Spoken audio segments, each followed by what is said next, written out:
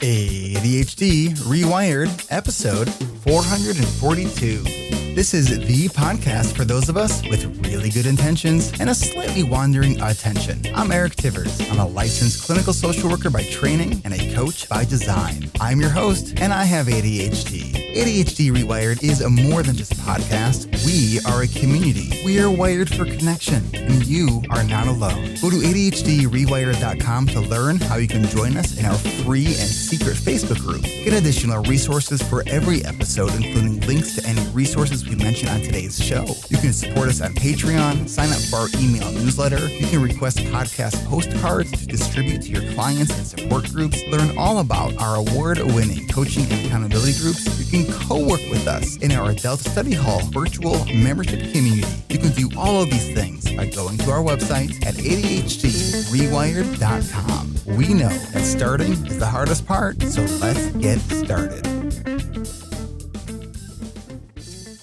Welcome back to another episode of ADHD Rewired. Today's guest is Mary Kima Dolson. Mary is a clinical social worker providing psychotherapy in incarcerated populations since 2019. She is the founder of the pandemic support group SWCSO, which stands for Stuff We Can't Say Out Loud. I love that, by the way.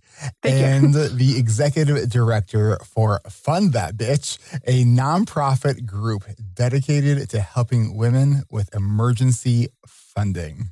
That might have been the coolest intro bio that, that I've ever like. That's great. I love it. I love it. I love it. I've been busy. I've been really busy. All Yeah. right. So uh you let's let's just jump right in here. Yeah. You so you you do a lot of work in, in the prisons and you've been doing a lot of sort of work and exploration around trauma and also attachment. So I wanted to have a conversation with you today about trauma and ADHD. And I know that there are some thoughts and ideas that you have about this, including you think that just the term trauma is overused. hmm Yeah, I thought about that a lot actually, because when we first spoke, you asked me, you said, Do you think people overuse the word trauma? And I said, Yep, I do. And then I thought about it for a month. and I realized it's overused and it's underused and um, misunderstood, I think. It's overused, you know, if you if you head into work and someone says I had a traumatic morning or if you listen to a group of people and they're like, "Oh my gosh, you're so traumatizing me right now." Those have become really commonplace. And I think even believing that you've been experiencing trauma in your daily life is become kind of a concept that, you know, via TikTok and different ways people are like, "Oh my gosh, yes, that's trauma." So I think it's interesting and important to really cover what trauma is and the multifaceted layers of trauma. So, what is trauma? It's a physical response to a bad thing. And it's not just like I had a bad thing tomorrow, I have a, a physical response, right? That is like acute stress disorder. That is, you know, something horrible happened and I had this physical reaction and and then the physical reaction lessened over time. Trauma is when it is consistent and you are starting to avoid things in your life, you're starting to avoid people in your life because it brings up this trauma. What about you what's what's your thoughts on the uh, on trigger warnings? Mm. That's a great question. I mean, I appreciate a trigger warning. Uh, generally speaking, I won't read it if there's a trigger warning. Which- okay. I'll be like, okay, that's good. I don't I don't need to know. Um, I do think that I don't hmm. Well, what's your response on trigger warnings?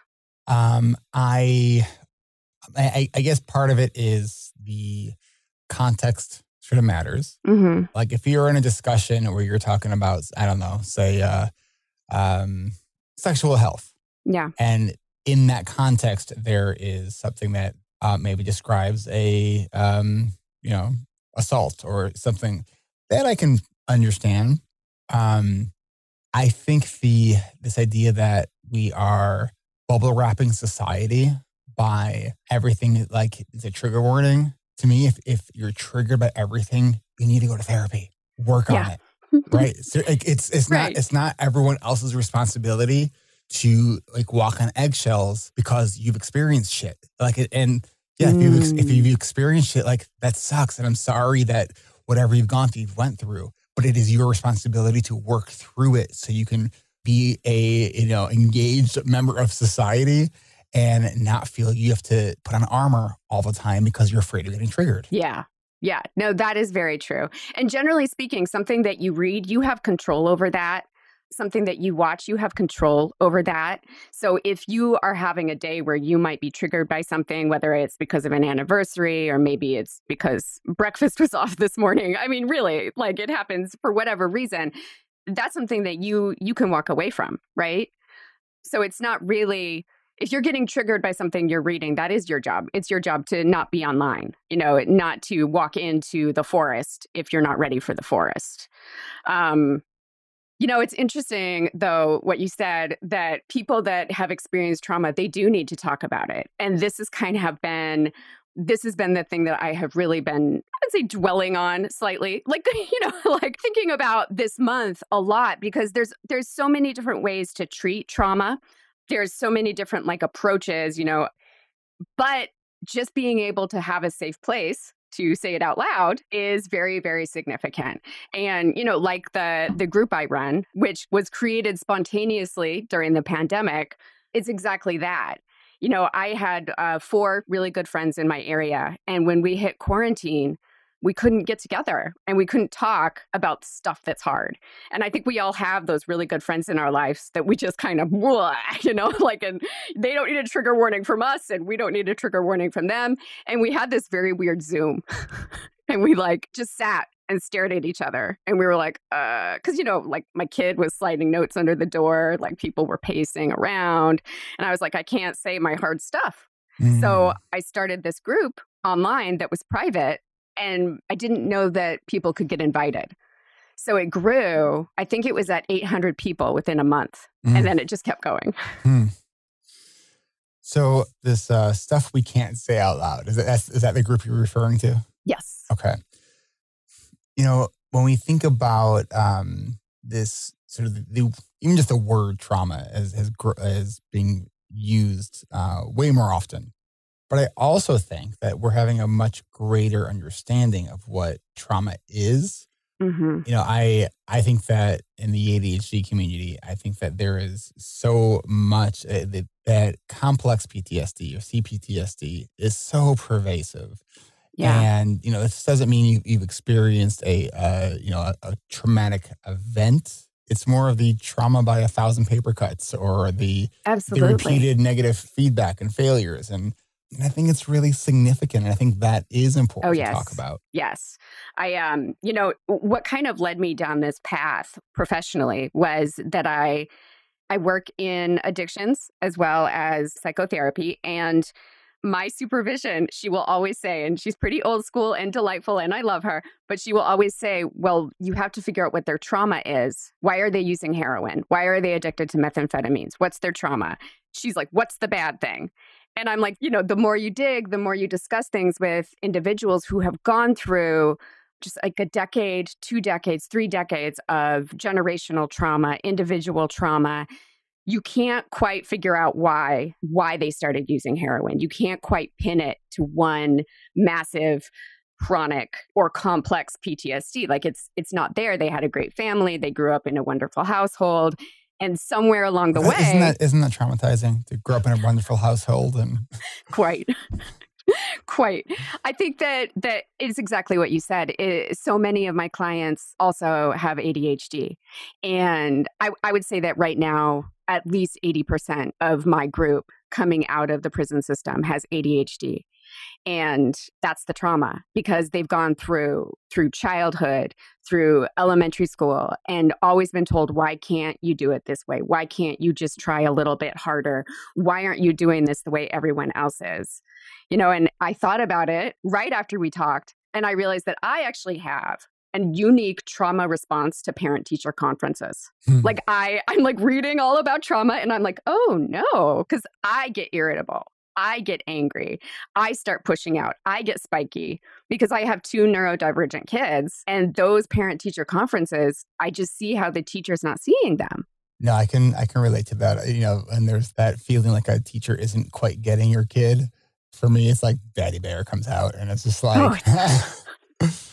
I remember Yeah. when my son was, was younger, I brought with an advocate to one of our IEP meetings only because like I knew that like I have a feeling that this isn't going to go the way I'm wanting it to, and and, and I used to be hired to come, you know, with, with families, Yeah. and it's like when it's your own kid, the gloves are off, and it's like you, Yeah. you do what you got to do for your own kid, right? Yeah. Yeah. Oh, there is at least one psychiatric prescriber out in the world today that does not want to look at my face ever again after a meeting we had last week.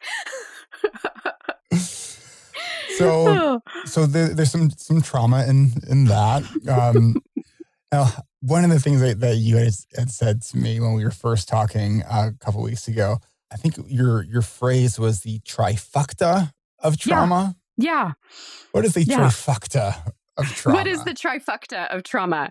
Uh, that is the the neurology, the systemic situation that you find yourself in, and then the the final piece is is whatever is the pivot. What is that one thing that got shook the wrong way? You know, so uh, almost sliding door event. Like um, you're 12, you you have the neurology, you have have uh, an event in your life, and maybe parents get divorced or something goes in a way that that you no longer have that foundation and then suddenly you're in the trifecta for a lot of people right now we're diagnosing adhd at this extraordinary rate because the pandemic has been that situation you know they they Mhm. lost that one validating piece Mhm. My brain just had six thoughts at the same time, Mm-hmm. and then one of them was that I just said I was going to take a quick break. So uh, we're going to do that. And uh, and when we come back, I want to sort of explore more about this idea of trauma because I think this is a conversation that I've been wanting to have a lot more on this podcast because I think that we just need to be having this conversation more. So agreed we will be right back.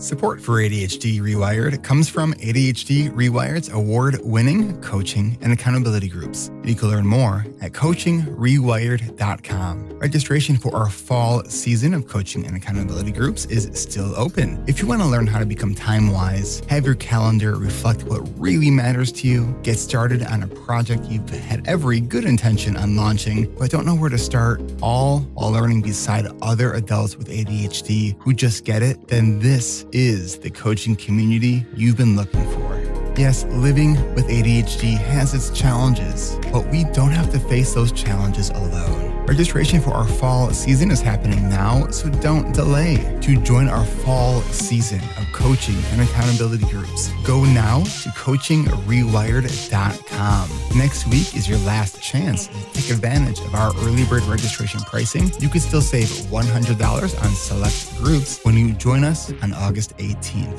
The deadline to submit all pre-registration submissions is 11:59 p.m. the day before our registration events. So go to coachingrewired.com to get started with your pre-registration process. And if you are listening to this after those dates, still check the website to see where we're at to find out how you can register. ADHD management is about more than just the tools. Here at ADHD Rewired, we believe in growth through community because despite our challenges and despite our setbacks, our members prove to us time and time again that we are not alone and we don't have to do the hard things in the hardest way possible. Take that first step by going to coachingrewired.com to add your name to our fall interest list. Come grow with us. Take that first step by going to coachingrewired.com.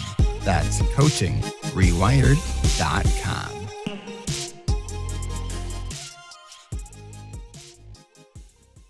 Support for ADHD Rewired comes from Adult Study Hall, our virtual co working and body doubling community at adultstudyhall.com. And it's the only place on the internet where you could join me on Thursday, August 18th at 11 a.m. Pacific, 2 p.m. Eastern for a two hour Pomodoro dance party. Let's work together for two 50 minute work blocks. And after each work block, I'll be your 10 minute dance party break DJ. Join me and a whole community of other adults with ADHD who are right now taking advantage of real time accountability to get their toughest to dos crossed off their list. Access to Adult Study Hall is only $19.99 a month and it is free for the first week. Work with us in our 24 7 drop in room, or if you would like a little extra support and structure, check out our ASH Plus offerings. ASH Plus is adult study hall plus facilitation. Your membership includes access to both our ASH 24 7 room and our ASH Plus sessions. There are sessions for writing, finances, creative work, your most dreaded tasks, anything job search and career related, and there are weekly accountability check ins. Whether our 24 7 drop in room is more your thing, where you can work at your own pace but don't have to work alone, or connecting with others and getting a little extra guidance is more for you, there is an adult study hall session for you. Whether you're doing work or doing dishes, come work with us. This is the virtual co working and body doubling community where people with ADHD are getting things done while having a little bit of fun. If you haven't given it a chance, try it out this week. Adult Study Hall is free for the first week, and it's only $19.99 a month after that. Come work with us. That's adultstudyhall.com. One more time, adultstudyhall.com.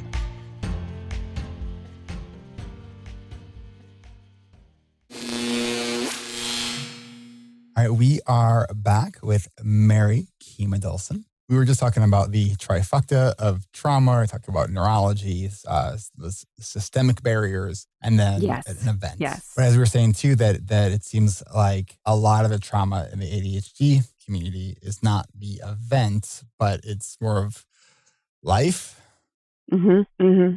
How does someone recognize if what they are experiencing is not just ADHD, but that if that it is trauma is actually a, a part of this picture? That's a great question. You know, something that I see a lot in my work is people diagnosed with PTSD, which is is almost always complex PTSD.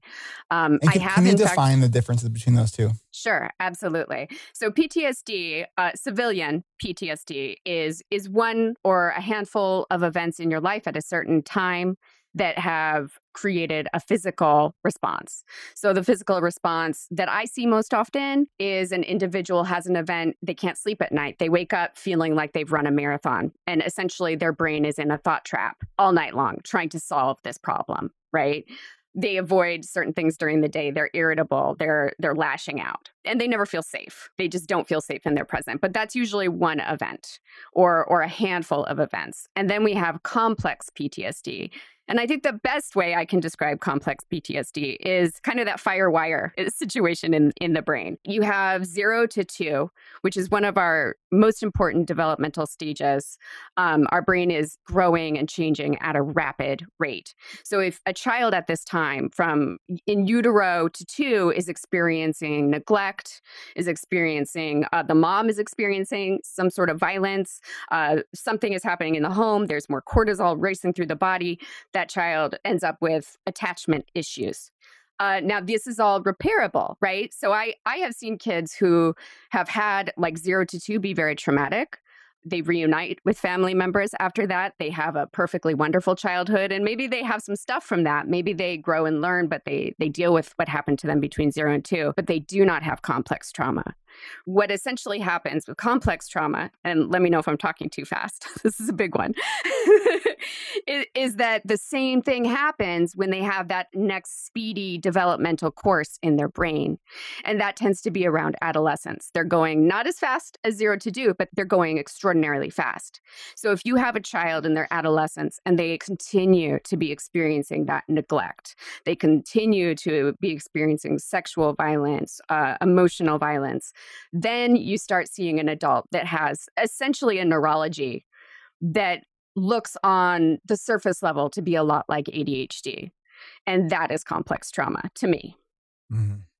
So, what do we do about it? Well, that's the magic question, isn't it?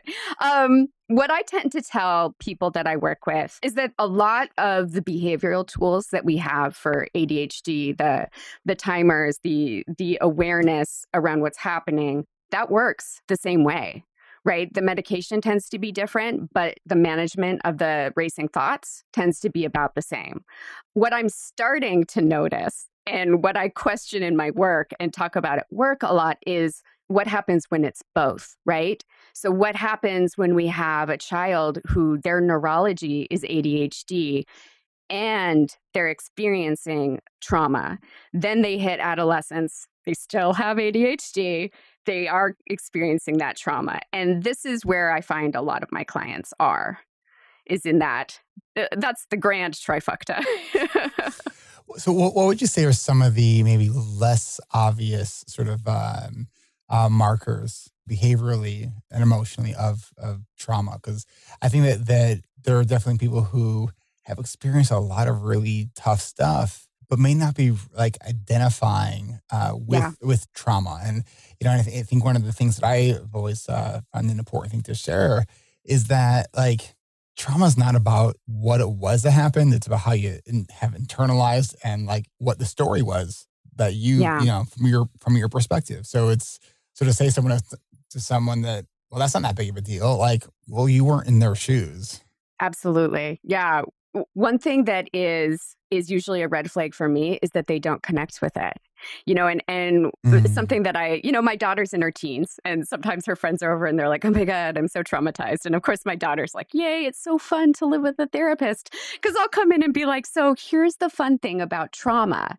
I'm like when you're experiencing or have experienced trauma you don't talk about it. You don't bring it up. Mm. you you have a fortress around you you're fine, you're good.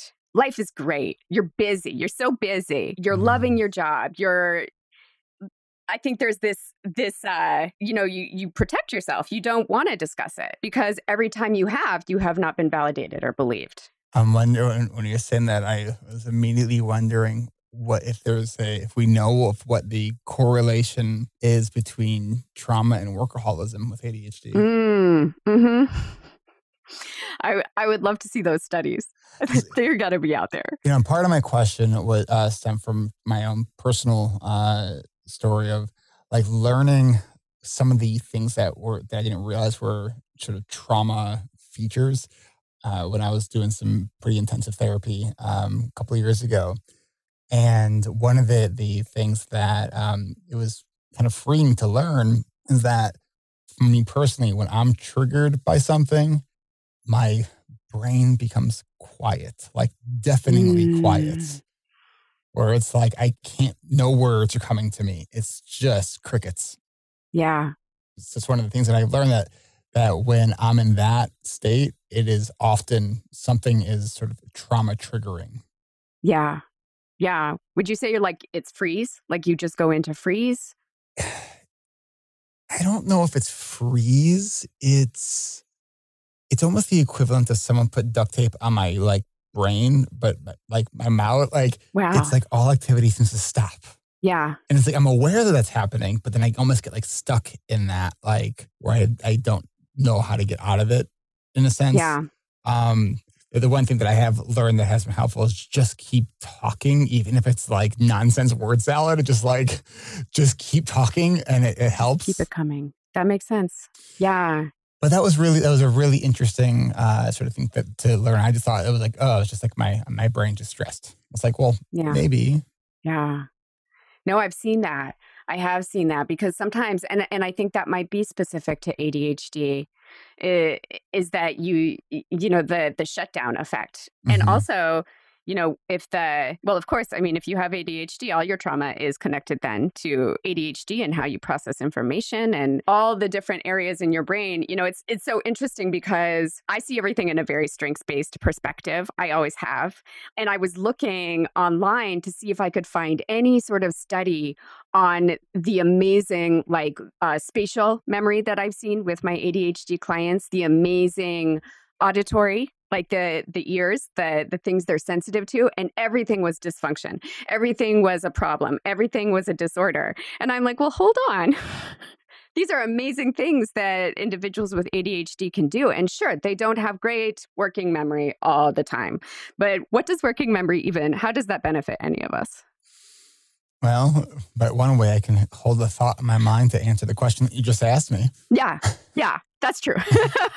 that's true no, I mean that's uh, it's it's sort of our, our working memory is like our brain sort of like muscle in a sense. It's like our ability yeah. to flex and be able to use and utilize little bits of information, but then for functional use. Yes.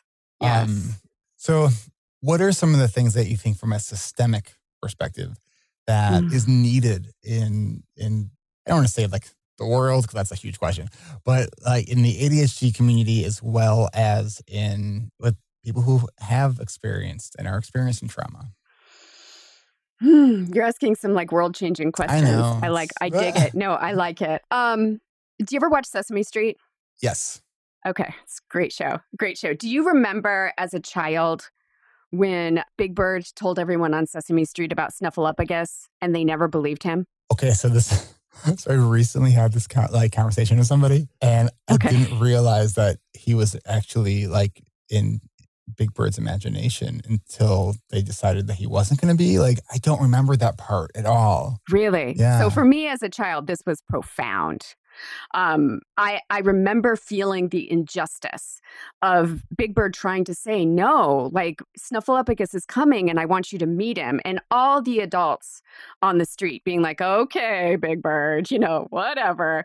And, and I think essentially what happened is not only did they get letters from children, they got letters from mental health professionals saying, like, to not believe a child is traumatic. Mm. To not invest in what a child is saying is traumatic. So every time you're telling Big Bird that Snuffleupagus is not real, that it's in his head, you're devaluing him. And they kind of created this whole storyline of being them being wrong. And not only did they realize they were wrong, but they apologized to Big Bird and it was it was amazing. Like Bob McGrath, who I saw once in the parade. do you ever, do you ever see the parade in New York City, the the Thanksgiving parade? I know of it. I've seen it passing okay. on TV. Yeah, I went to it once, and just for the Sesame Street float. So that's side note. Sorry. but he said to Big Bird, he said, "From now on, we'll we'll always believe you when you tell mm. us something." But that's the systemic issue to me that our adults are still doing.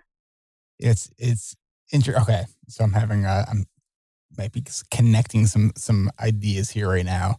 Okay. So with my own sort of like trauma trigger type of stuff, I think part of it is can be sort of triggered by a when I'm feeling like what I'm trying to communicate or express is not being understood.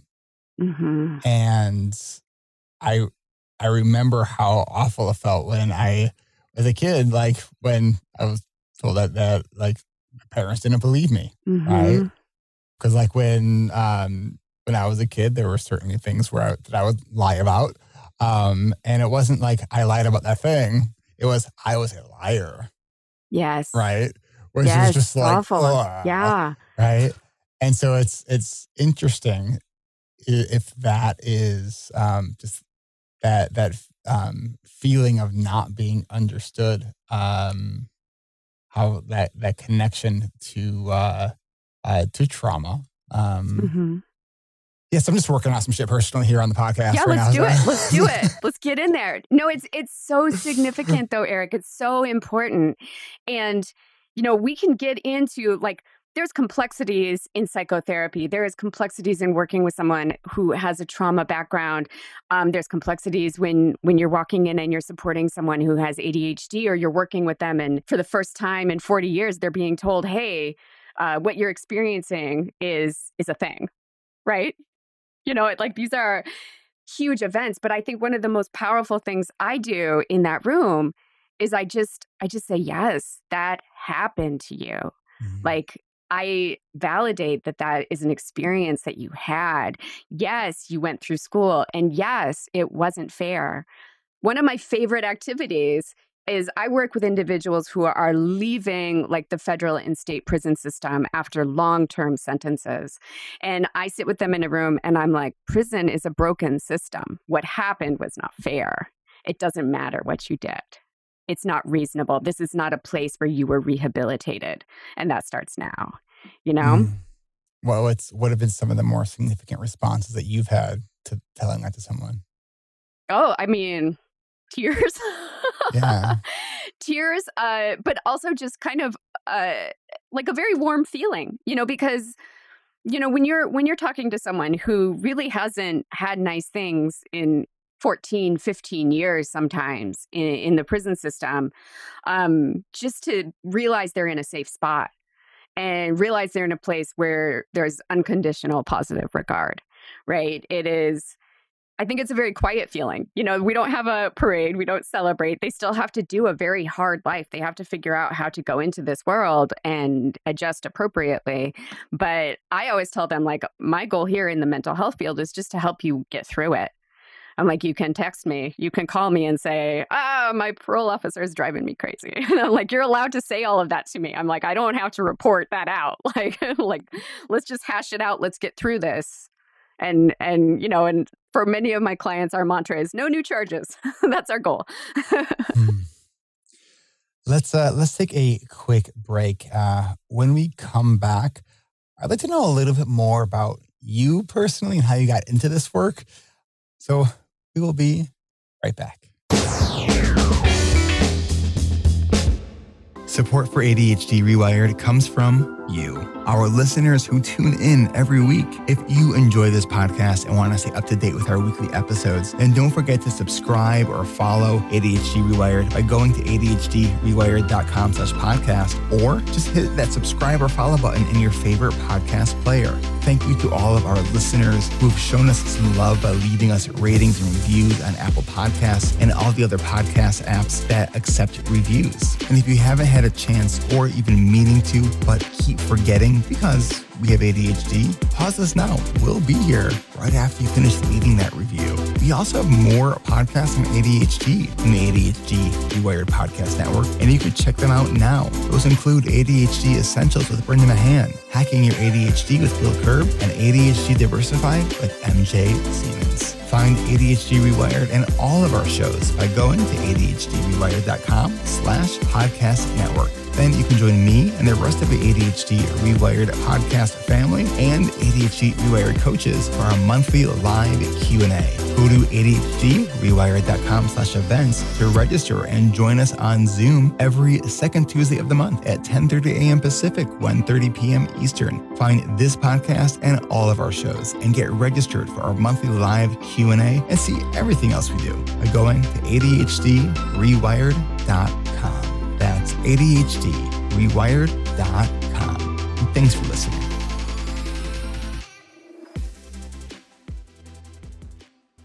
Support for ADHD Rewired comes from listeners like you who support us on Patreon. What is Patreon? It is a way for people like you to support independent content creators like me. To become a patron, go to ADHDrewired.com slash Patreon. Starting at just $5 a month, you can get ad free episodes. At $25 a month, you could join me once a month every fourth Tuesday of the month at 3 p.m. Central. When you do join at the $25 a month level, you'll also get those ad free episodes and audio recordings for those monthly coaching calls. You do need to set up your RSS feed through Patreon. And I want to welcome and thank Justin F., Breland Y., and Kristen E. for becoming patrons this last week. Thank you so much for your support. And if you choose to pay yearly versus monthly, you could save about 8%, which comes to about one month free. If it's in the budget right now for you and you have been getting value from ADHD Rewired, please consider becoming a patron. Go over to ADHDrewired.com slash Patreon. Again, that's ADHDrewired.com slash Patreon. And don't forget to set up your private RSS feed. You do it through the Patreon website. You'll get a private link. You will then paste it in your favorite podcast player. It works with almost every podcast app, I think, except for Spotify. So if you've been a $5 a month patron and haven't set up your RSS feed yet, or you would love to be able to listen to these episodes without listening to these ads, go to ADHDrewired.com slash Patreon. That's ADHDrewired.com slash Patreon. And thanks.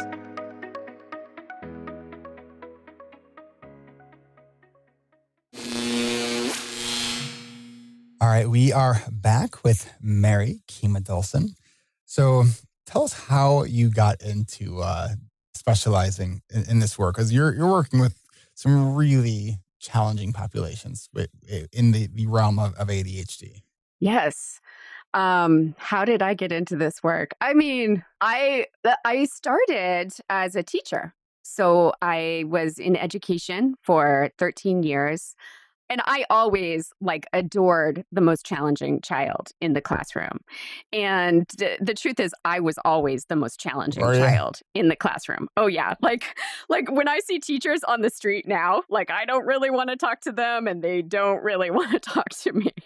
Uh I'm a little proud of that fact. I don't know. but um but I I started finding myself in a lot of parent meetings. Like parents would call me and say, "Hey, you just seem to really understand my child and and can we talk about this a little bit?" And I felt like I was a little out of my wheelhouse. Like I was like I would I love talking to parents and I love being able to tell parents, "Hey, this is something your kid's going to get through and these are the things I see them do that are so amazing." But I was like I probably need to go and and level up. And so I went to grad school. And my first internship was in outpatient services for mandated populations. Mm. And, and, I mean, when, when just, you say man, just for, for listeners who might not know what that term means, mandated populations. Uh, mandated populations means that they are required through the court system to do mental health therapy and, and often substance use therapy along with that. And I, I loved it it was like a, a puzzle piece finally clicking. And truly, I was like, this is my crew. Mm. Like, I love these guys. And, and, and you know what? They, they can that. keep up. I bet they yeah. felt that. Yeah. Oh, yeah. Because being people know if you actually genuinely like appreciate who they are or if you're just there it's because this is your job yeah no they they know i love it um we we run some fun groups so when did you learn that you had adhd I don't have ADHD. You don't have ADHD. I don't have ADHD. Uh, I have a daughter with ADHD. I have a spouse with ADHD. Um, I have a son with autism, and I am also on the autism spectrum. Okay. So, th- how does that play out for you? oh, oh, we're a noisy family. Um, it it is I actually have, I feel that autism and ADHD, and I'm going to make a Sesame Street reference again, but we're the Bert and Ernie's of the world. You know, we just really, we, we're so different, but we're so in love with each other's vibe. Does that make yeah, sense? Absolutely. You know, so like, uh, like my daughter is such a Bert, just a planner, like very careful with all of her little details. My son is such an Ernie, just a, bathtub toys everywhere. The room is chaos and there's art just strewn across the world. And I and I'm an Ernie. And and I think Ernie's and Bert's can, you know, I think the diagnosis could be different depending on how, you know, maybe Bert Bert sometimes has autism as well, but maybe Ernie's got ADHD depending on on which angle we take. But but I am I am an Ernie in the household. Um I think that we I don't worry about the same things. And I think it's nice to not worry about the same things. I think that that is a nice anchor. And, you know, I'm very big on um, my curse and my blessing is that that I'm constantly making prediction patterns. So, you know, where where my spouse is constantly overthinking the small details, I'm jumping to like what are the next 20 years going to look like or what were the 20 years that we just experienced. Does that make sense? I think so. It's, it's um, chaos. no, I, am there there are a lot of uh behaviorally sort of from that sort of outside a lot of similarities between autism and ADHD, but neurologically it is very different. Very different. Uh, when people ask me like what what the big difference is. I tend to say like where my spouse is like a rabbit digging burrows and always trying out a new burrow. And so the yard, you know, is just a million different dens of interests and pockets of joy. I'm like a giant one mile down route mm. where like my interest is all the way down. Hmm. When you say that, like, I, well, I definitely have the preference of going deep versus wide. Um, so you you have three major interests that you you shared with me before. Yes. ADHD being one of them. Oh yes. You're a runner and you have yes. a lot of interest in in that. How, how did how did that form? That's a great question. I I mean I have a dog. I his name's Mudge and he is a Saint Bernard who we got at the shelter when he was about 2 years old and he had never been in a house. He was completely feral and he was intense. Mm. And I started running with him because he needed to run. And we we still, you know, 5 years later are doing the same route. And it's just me and Mudge every morning, but it it's good for me, it's great for him. But for me to do something so like it I think I told you I never changed the route. I never changed the tunes. like it, it's it I always do better if I've done that run.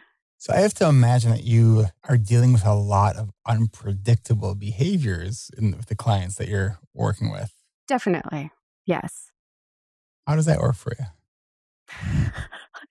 Am I flexible? Is that what you're asking? Are you? um, I'm actually very like I think I love it. I mean, I think that I I think there's unpredictable patterns, but there's also there's also stuff that's very very predictable. And actually like when you mentioned that that is where when something horrible happens, right? So when that when it's unpredictable, it's not small. It's a new crime. It's a tragedy. I've had so many of those this year, and that breaks me. You know, and, mm. and it is directly related, I think, to my own neurology because when it's when it comes out of the blue and I can't control it, I can't stop it, and and maybe even my client relationship has ended because of what happened, I just tank. Mm. And it does take a really, really long time to get back from that. You know, with um with the experience for a lot of people with, with autism being that things are just experienced so intensely. And if trauma is not what happens, but how it's experienced, I have to imagine that there is probably even more trauma in the autism community than than ADHD. And that's, I'm just speculating, but what what's your thoughts on that? Well, and I don't know if it's I think it's very different um, you know, with with ADHD, because you know we discussed like auditory memory, olfactory memory, spatial memory. I think those are huge triggers for somebody with ADHD, and because working memory is not you know on full blast, you don't always know why you're triggered, right? Mm. But it could be a sound you heard, it could be something you smelled, because those memories are so profound. With autism, you know, this is definitely true for my son. It's true for me. I can't speak for the whole community. Right. I have emotional memory that does not go away. Mm. So if I have a an event in my life that elicited emotion, I can go back to that. Like it happens like it's happening yeah. all over again right now. All the time. So, you know, for example, 2 weeks ago I got terrible news at work. And it took me a really long time to process.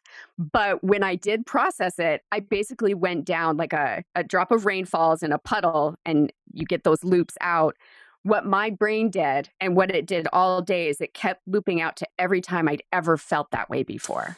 Ooh. Yeah. That sounds intense. yeah. Yeah. It was, you know, in the in the moment, and this is pretty classic, I think, for anyone with a neurology that's not, you know, typical, and I don't sure anyone has a typical neurology, but my colleagues were like, "Why? What's wrong with you? We're telling you something horrible. What's wrong with you?" And they really, I mean, Yikes. that hurt me. Yikes. That was really bad for me because I was just, I was already, the drop was already going. I was already making these mm. connections. Mm. And it wasn't until nine hours later when I was driving home that I had emotion about it. You know, just a good solid 45 minute drive home crying. Wow. like, wow. Hmm. And then and then my week was messed. It was not good. It was yeah, bad. It took you a significant time to recover, huh? Yeah. Mm. Yeah.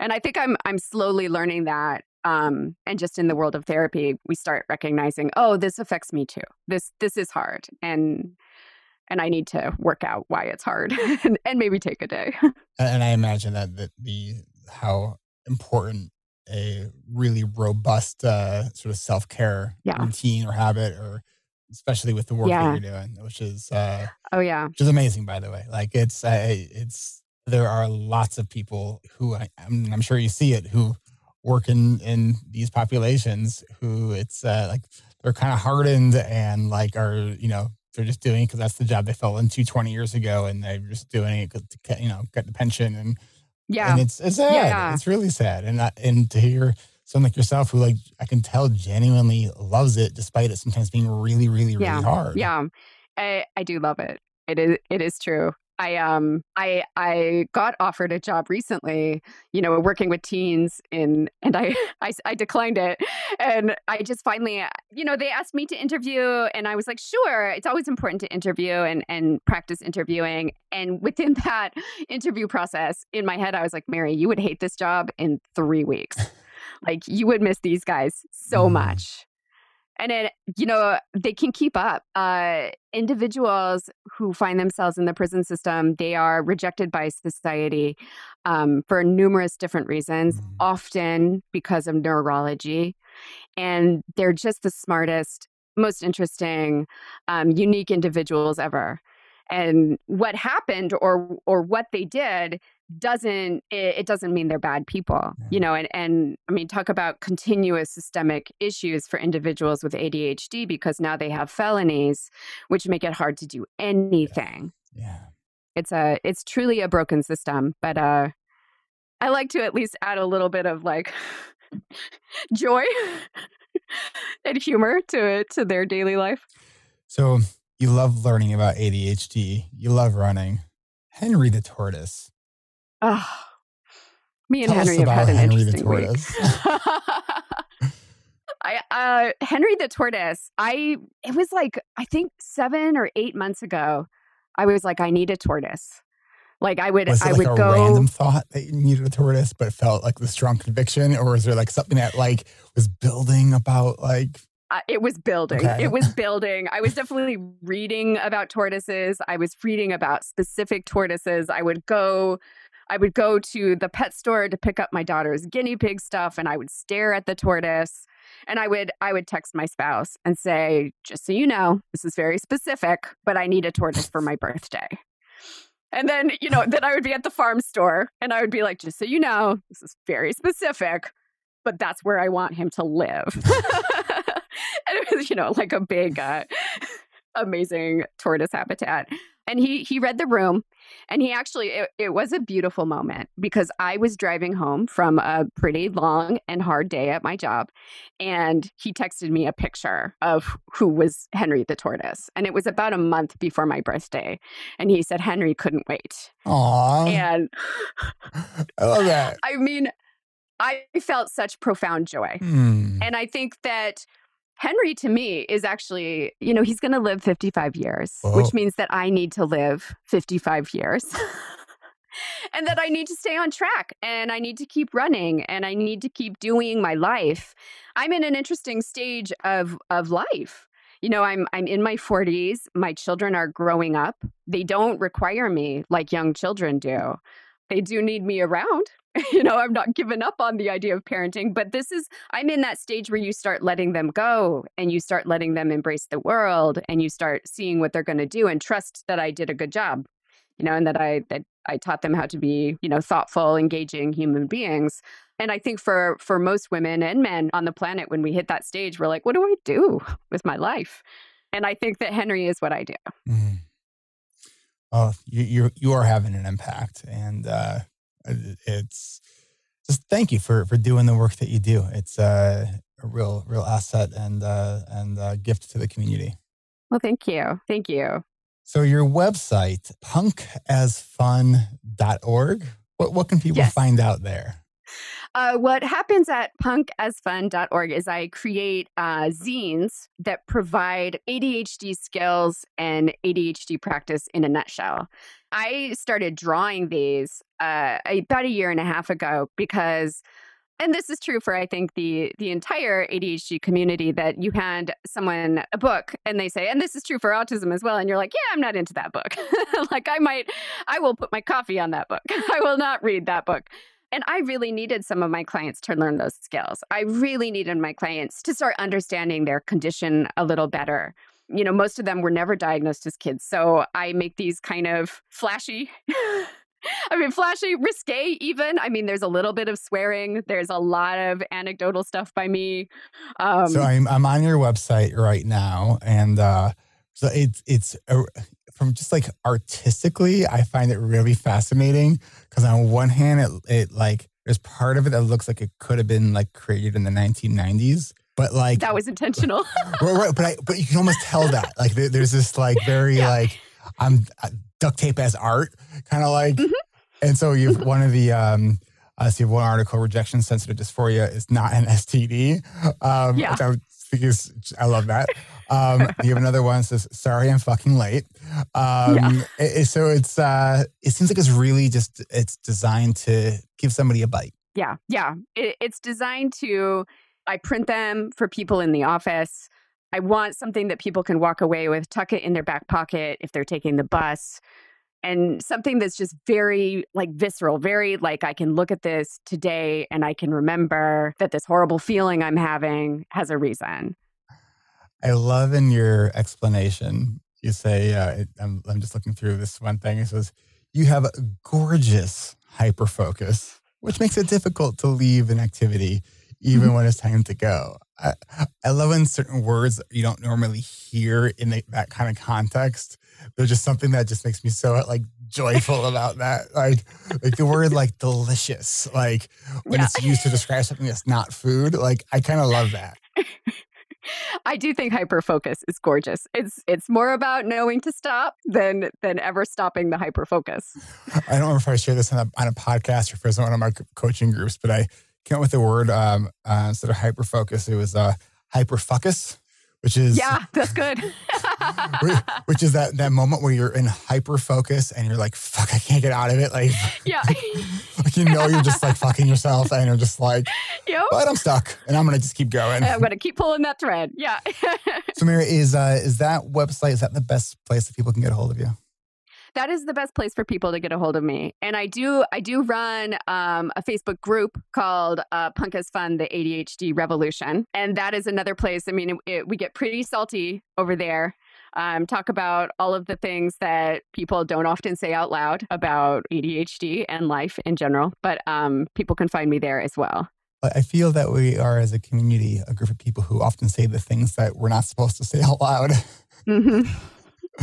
which is delightful and important I love it. good. I love it. I love it.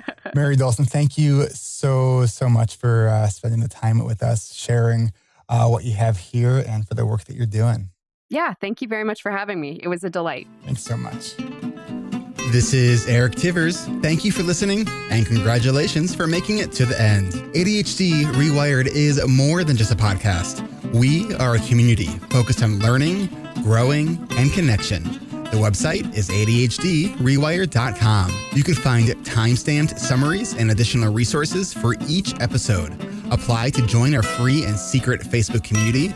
Learn more about our award winning intensive online video based coaching and accountability groups Join the Adult Study Hall virtual co working membership community. Find all the other podcasts on the ADHD Rewired Podcast Network. Sign up for my email newsletter to get exclusive content that you won't hear anywhere else. And use the search tool to find episodes on specific topics. You can do all of this at ADHDrewired.com. While you're there, click on the Patreon button if you are a regular listener, consider making a, monthly contribution by becoming a patron. If you are able to financially support my work, it would mean a lot.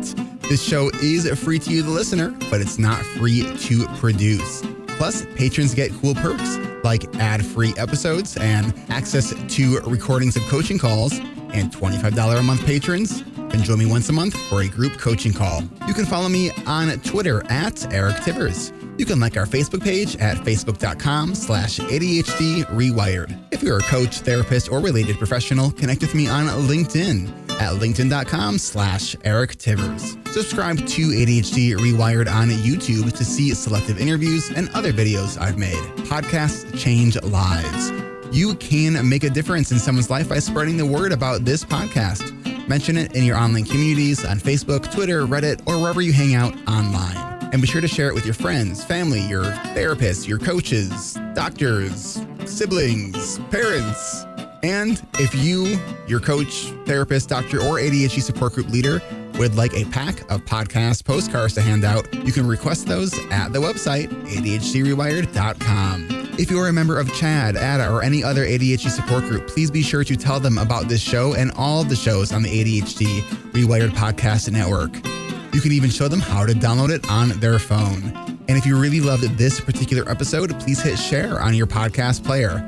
I'm only one person, and I do count on you to help spread this message. One of the biggest things that you can do to support this podcast and help other people discover it is to leave an honest rating and review on Apple Podcasts or any other app that supports reviews. And don't forget to hit subscribe so new episodes are automatically pushed to your favorite podcast app.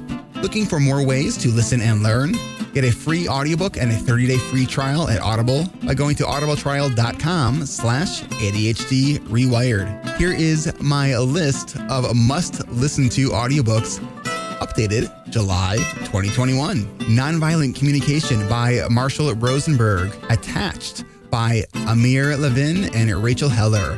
Atomic Habits by James Clear, The Five Dysfunctions of a Team by Patrick Lencioni, Crucial Conversations by Kerry Patterson, The Coaching Habit by Michael Stanier, The Body Keeps Score by Bessel van der Kolk, Rest by Alex Soojung-Kim Pang, The Five Second Rule by Mel Robbins, Make It Stick the Science of Successful Learning by Peter Brown, The Productivity Project by Chris Bailey, Meditation for Fidgety Skeptics by Dan Harris, Change Your Questions, Change Your Life by Marilee G. Adams. I always recommend to my coaches and admin that they read that book.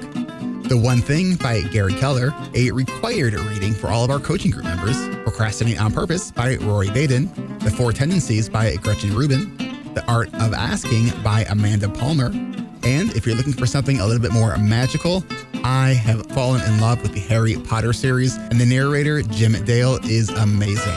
And of course, if you haven't yet boarded the Brene Brown bus, all of her stuff is great, starting with Gifts of Imperfection, Daring Greatly, Rising Strong, and The Power of Vulnerability. And if you're an entrepreneur or leader, be sure to check out her book, Dare to Lead. Do you have something that you would like to share? Click on the podcast tab at ADHD Rewired click the button to be a guest at the top of the page and schedule a 15 minute interview. This is Eric Tivers, reminding you to keep learning, growing, and connecting. Self care is not selfish. No matter what you get done or don't get done, you are still enough. And no matter how hard it feels, we can do hard things. And we don't need to do them in the hardest way possible. Thanks for listening. I'll catch you next week.